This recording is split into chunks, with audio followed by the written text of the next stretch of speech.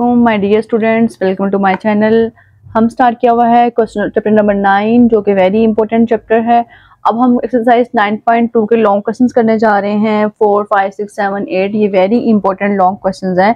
इसमें से एक पार्ट लास्ट पेपर में पूछा जाता है, अगर आपको चैप्टर नंबर नाइन में से लॉन्ग क्वेश्चन आता है। क्योंकि ये ओवरऑल एक्सरसाइज बहुत ही इंपॉर्टेंट है नाइन और इससे जो ऑनवर्ड जितनी भी एक्सरसाइजेज हैं।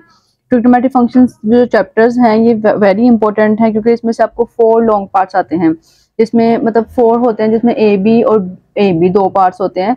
दो दो मिला के चार पार्ट्स होते हैं जो आपको इसमें से आते हैं ट्रिग्नोमेट्रिक में से आते हैं। अगर ये आपको अच्छे से आ जाए तो आपका पेपर इजिली अटैम्प्ट हो सकता है।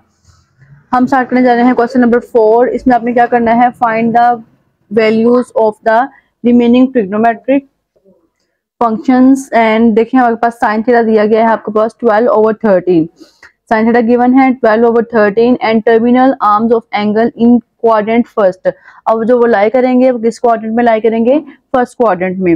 अब हम यहाँ पे पहले वैल्यूज़ बता देते हैं कि साइन थीटा हमारे पास क्या होता है? साइन थीटा ये हम छोटी क्लासेस से पढ़ते आ रहे हैं कि ये हमारे पास परपेंडिकुलर ओवर हाइपोटिन्यूस होता है। अब परपेंडिकुलर हमारे पास होता है, ये वाई है और ये हमारे पास क्या होता है? ये आर है।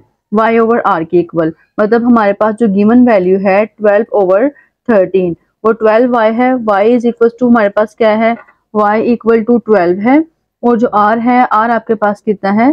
थर्टीन आर थर्टीन दिया गया है। हमने क्या फाइंड करना है? आर हम क्या यूज़ करेंगे? बाय पैथागोरस हम पैथागोरस को यूज़ करते हुए यहाँ पे फाइंड कर लेंगे आर तो ये जो हमारे पास होता है X square plus Y square is equal to R square अब यहाँ से हमने एक्स केयर जो है, वो हमने फाइंड करना है।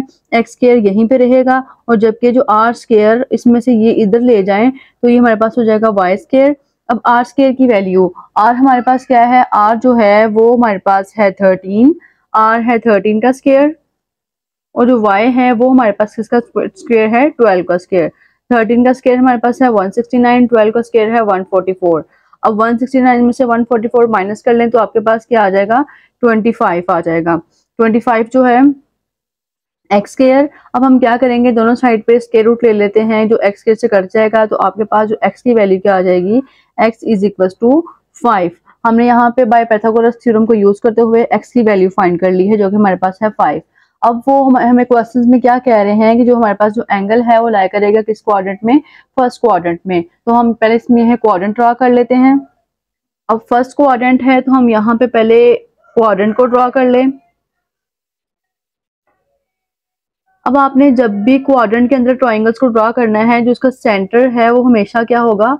आर होगा। तो आर हमारे पास क्या है? आर इज़ थर्टीन आर ये है और यहाँ पे अगर हम करें तो ये हमारे पास क्या होता है? परपेंडिकुलर जो कि वाई है। वाई आपके पास था ट्वेल्व और जो हमने अभी फाइंड किया है वो हमारे पास क्या है? X X is equal to five और ये हमारे पास किसमें लाई किया है?